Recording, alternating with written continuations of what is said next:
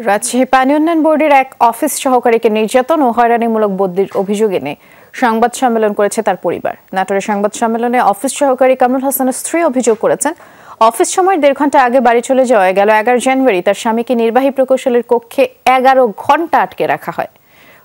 অভিযোগ এ সময় নির্বাহী প্রকৌশলী শফিকুল ইসলাম কয়েকজন অফিস স্টাফ ও ঠিকাদারকে নিয়ে কামরুলকে মারধরও করে। খবর পেয়ে পুলিশের সহায়তায় কামরুলকে সেখান থেকে বের করে নিয়ে আসেন তার স্ত্রী। এ ঘটনায় বোয়ালিয়া থানায় অভিযোগ দেওয়া হলে কামরুলকে ভোলায় বদলি করা হয়।